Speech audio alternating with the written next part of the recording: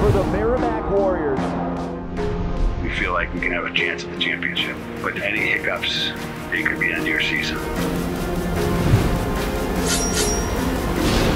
The Warriors smell blood in the water